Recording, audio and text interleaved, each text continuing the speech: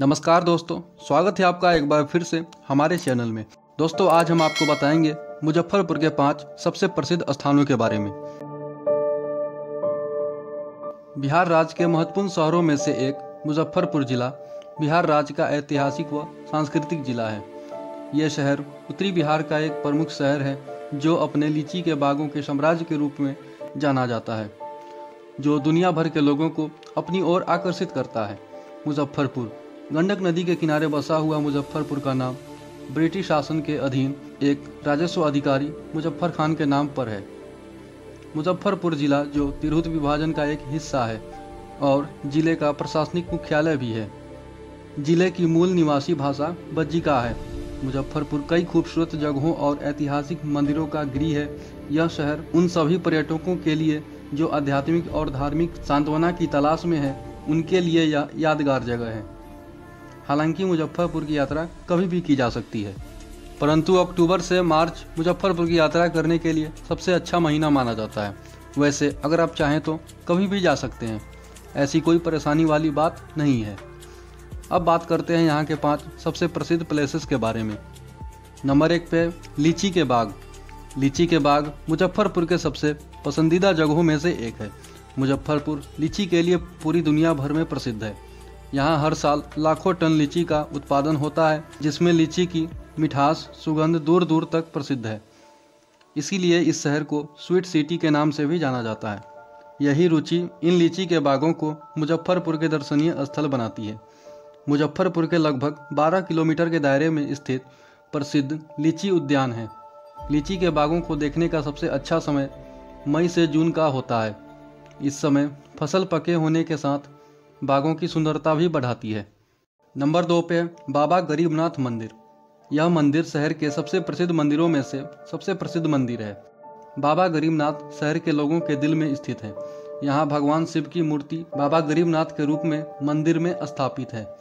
यहाँ के स्थानीय लोगों द्वारा यह कहा जाता है कि मंदिर का काफ़ी पुराना इतिहास है।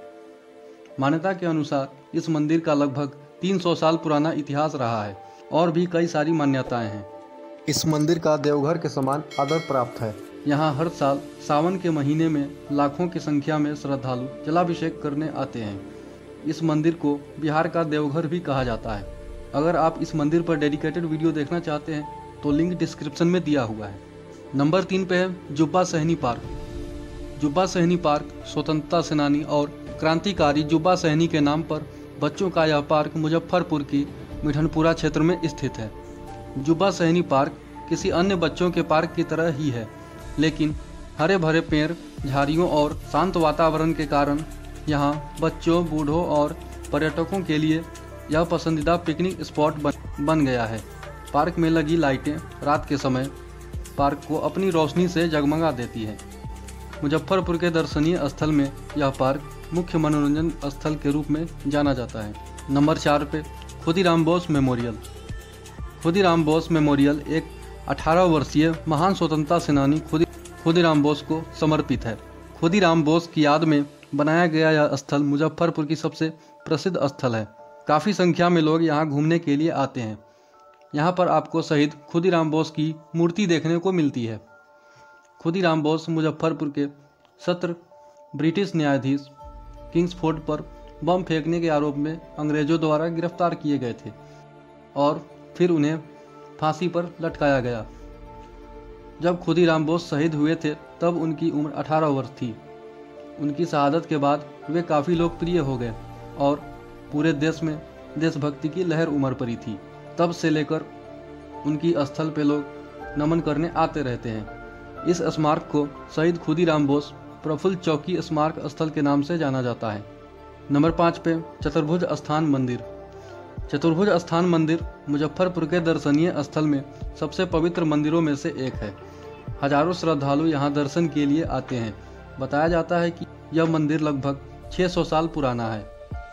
मुजफ्फरपुर नगर के चतुर्भुज स्थान मोहल्ले में तकरीबन 1200 ईस्वी में स्थापित अति प्राचीन बाबा चतुर्भुज स्थान मंदिर भक्ति व आस्था का केंद्र है। यहाँ भगवान चतुर्भुज यानी श्री हरि विष्णु की भव्य प्रतिमा स्थापित है। पूरे उत्तर बिहार के लोग यहाँ दर्शन के लिए आते हैं। यह मंदिर मुजफ्फरपुर के दर्शनीय स्थल में काफ़ी प्रसिद्ध है। आपको हमारी जानकारी कैसी लगी, कमेंट में लिखकर ज़रूर बताइएगा। और नए हैं तो हमारे चैनल को सब्सक्राइब ज़रूर कीजिएगा। मिलते हैं किसी नेक्स्ट वीडियो में। धन्यवाद दोस्तों।